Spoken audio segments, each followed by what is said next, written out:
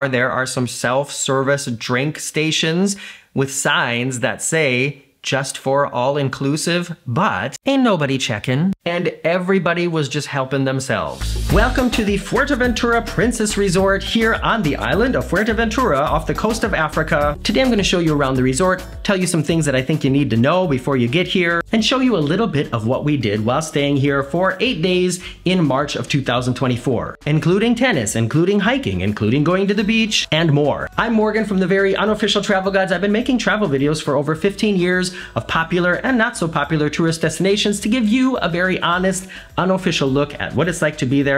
And I also wrote a book with crazy travel stories, things that have actually happened to me around the world. It's called Getting Stitches on a Cruise Ship, which actually happened to me. And if this video helped you out in any way, consider grabbing a copy because it's a great way to support what I do here on YouTube. Getting Stitches on a Cruise Ship, available on Amazon now. Okay, let's take a look around this resort. The Fuerteventura Princess Resort lies on the southeast side of the island between the Tui Magic Life and the Jandia Princess. One of the most important things you should know about this and just about any other resort on this area of the island is it is not flat here. Staying here is a lot of walking up the hill, walking down the hill, walking up the hill, walking down the hill. To get from the lobby to the pool to the beach and back, you're gonna be walking up and down a lot of hills and or stairs. But let's start with actually getting to the resort. I took a direct flight with Marabu Airlines from Hamburg, Germany, and there are many carriers that travel from major European cities directly to Fuerteventura. The airport is a little on the smaller side, but it's very modern modern. Wow, the bags got to the carousel before I did. That's quick. And my friend Andreas, who flew from Munich with Condor, was already there to meet me when I arrived. We hopped into our rental car and drove about 90 minutes down dusty roads to get to our island paradise home for the next eight days. If you don't want to rent a car, there are a few companies that offer pretty affordable shuttle services to almost all the resorts on the island. The first impression of the lobby when you get here is very spectacular. It is a gigantic open building. Reminds me kind of the Polynesian Resort, the Wilderness Lodge, Animal Kingdom Lodge at Disney. Just a huge open space with lots of sunlight coming in when the sun is shining. Reception is over here to the right. If you book Essentia, which is like the top level all-inclusive, you have your own check-in area over here to the left. This main building houses not only the lobby and lobby bar, but also the main buffet restaurant where you can have breakfast, lunch, and dinner, and I'll be showing you a little more of the food later. On the lower level of the main building, you have some shops, the Match Point Sports Bar, which is sponsored by the tennis school at the resort, but only shows soccer matches, a pretty large arcade, and then the huge main bar and entertainment space called Halio, where they have the kids' mini disco at night, as well as a variety of other entertainment offerings that I'll also be talking about in just a little bit. Even though we were not traveling during any main school holiday periods, we were kind of surprised at how full the resort seemed. And we realized right away that it's very popular with families with smaller kids. Check-in took about a half an hour, and then we were off down the hill to our partial ocean view room in Building 5. The resort has several different buildings along a series of streets streets, starting with the Essentia upper class rooms at the top of the hill and moving down towards the beach. All of the rooms have either a balcony or outdoor terrace facing the coastline, but as I talked about in more detail in my room tour that's been online for about a week now, not all the balconies are the same. You see how some balconies are like open and some are closed? I was assuming that like the lower level is no view, the second level is partial ocean view, and then the highest level is always ocean view. But now I'm wondering if there's a difference even between the open balconies and the closed balconies because on our reservation we have a partial ocean view, but from our room, you know, it looks like this. So even if you pay for an ocean view or partial ocean view. Still, for two adults, we had plenty of space and definitely more than in a standard cruise ship cabin. Like I said, if you want to see the room in detail, check out the full tour linked in the description. After a quick unpack, we headed down to the Sirocco restaurant, which is the snack bar open during the afternoon hours of the day. They actually have a pretty big selection of hot and cold eats here that are included in the price of your stay freshly baked pizzas, burgers, salads, fantastic garlic bread, cheese, fries, chicken nuggies, ice cream, as well as some self-service drink options. This garlic bread is so good. Great views from this restaurant. This is also new since the last time I was here. One sort of disadvantageous thing about this place is the birds. When you come out here and eat outside, I don't want to say you get attacked by birds, but there's definitely a lot of birds. And I've seen people feeding the birds, and I just think, come on, people, don't feed the birds at an outside restaurant. That makes them come back. And you know, it's kind of nice to eat outside with this view and not have to be fending off birds and not have to have the tables be full of bird crap. You know what I mean? Don't feed the birds at outdoor restaurants, people. I beg of you. After our snack, we changed into tennis clothes and hit the courts, which is one of the main reasons that we decided to go to this resort. Andreas and I have both been playing tennis since we were teenagers, and you know, I play for a local club here in Hamburg, and we were looking forward to several hours of training and coaching during the week to improve our game before the competitive season begins back home in the summer. And while I noticed many improvements and updates in the resort itself during the last 12 years since I stayed here, unfortunately, I have to say the Matchpoint Tennis School left me a little bit disappointed this time. They were having some trainer drama at the time of our visit, and one trainer quit with no notice leaving only one person at the resort to take on every scheduled lesson. She was very competent and had a variety of drills prepared for us during the week, but I think that she was more of a better fit for people who are just learning tennis and not for advanced players like Andreas and I. On my past visits, it seemed like tennis was a really important thing to a lot of people who chose to stay at the resort. The courts were always booked. When they had the friendly tournaments, a lot of people showed up, and that was definitely very different this time. Maybe we just picked a bad week, but at one of the tournaments, only five people showed up. Now, these were all people who were good tennis players, but still, it's just different than the way it was the last time I was here. So if you are an advanced tennis player and really want to focus on your game and improving your technique while you are on vacation, I'm gonna have to recommend a different resort than the Fuerteventura Princess. it's hot.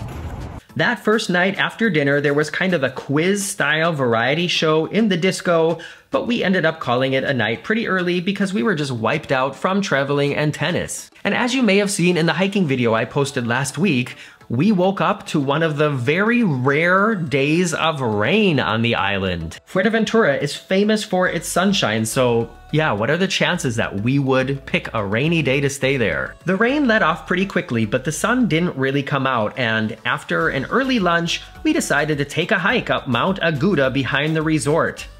This small mountain is only about 1,000 feet or 300 meters from top to beach, and it was a medium strenuous hike with some really great views of the volcano-y landscape and squirrels from the top. There are pretty clearly marked paths, so if you're interested in making the trek to the top, I would say go for it. I made a whole video about it, which you can also find in the library. Breakfast, lunch, and dinner are all served in the main food market is what it's called. That is the buffet at the resort. Just like on major cruise ships, there are a variety of stations serving hot and cold food. And if you're a fan of freshly prepared meat, chicken, and seafood, you are going to love the meals here at the Fuerteventura Princess Resort. As someone who eats vegetarian, I also found a lot of tasty things, and if you're very specific about eating gluten-free, vegetarian, or vegan, you can fill out a survey at check-in, and they will make a special meal just for you. Here's one thing about the buffet that seemed kind of weird to me though. A lot of times,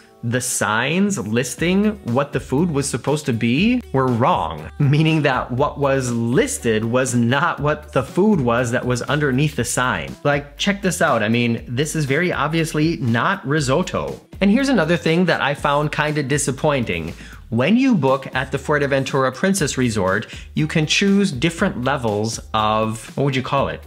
Things that are included. So you can have half board, which includes two meals a day, full board, which is three meals a day, and then all inclusive like we had, which includes all the meals and then also alcoholic drinks, which are not included in the other packages. So we paid extra for all inclusive, and you can see in the buffet and the snack bar, there are some self-service drink stations with signs that say just for all inclusive, but ain't nobody checking. And everybody was just helping themselves. And it made me think, why did I pay extra for this if everybody is getting it anyways. You know what I mean? That was kind of disappointing. Now, if we went to the bar by the pool or in the disco or the sports bar at night, we did have to show our all-inclusive bracelet to get a drink without having to pay for it. But if you're somebody who's considering staying here and you're not sure if you want to do all inclusive or not, and you only like to have maybe like one cold beer at the pool in the afternoon and a glass of wine with dinner,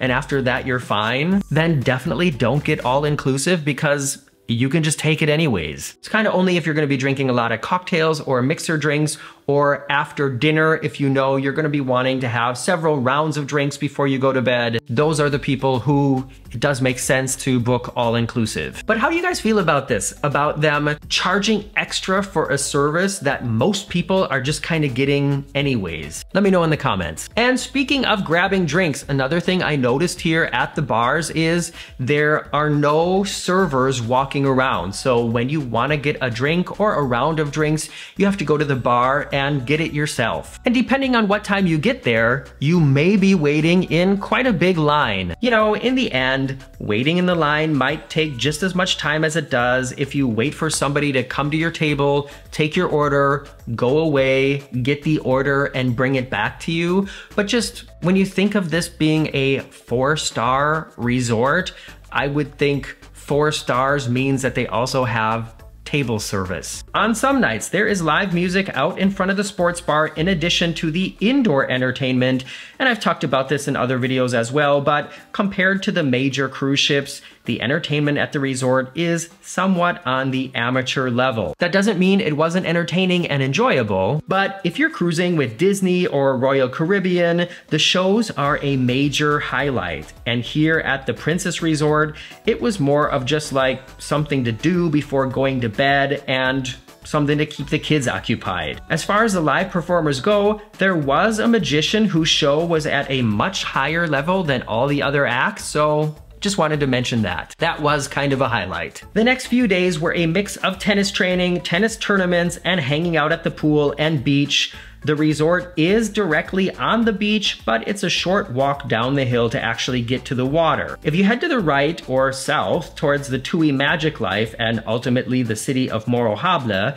it's kind of rocky and rough. But if you head to the left, or north, there is a long stretch where it's nice and sandy and smooth. Just FYI, as far as clothing goes here, it's kind of everything goes. Some people have their clothes on, some people have their clothes off. You're kind of gonna get that everywhere on the Canary Islands. There is a lot of naked skin happening. And there's pretty much a constant wind on the island, but if you get to the beach early, you can grab one of the stone rings and set up camp inside to sizzle in the sun and have a nice little bit of privacy as well. And what would a luxurious resort be without a bunch of pools? This is the door to the beach. You'll need your key card to get back inside. And if I turn to the right here, there's also sort of an enclosed beach area here that only belongs to the resort.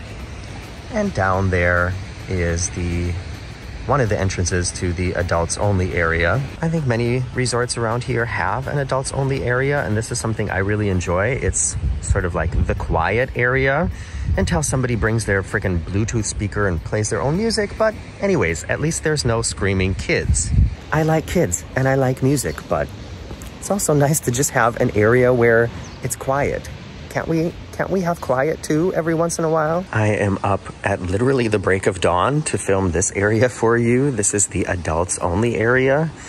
When I first came to this resort, this area was a little bit smaller and it was also the um, nudist area. So I think it was clothing optional, but most people who hung out here were without clothing.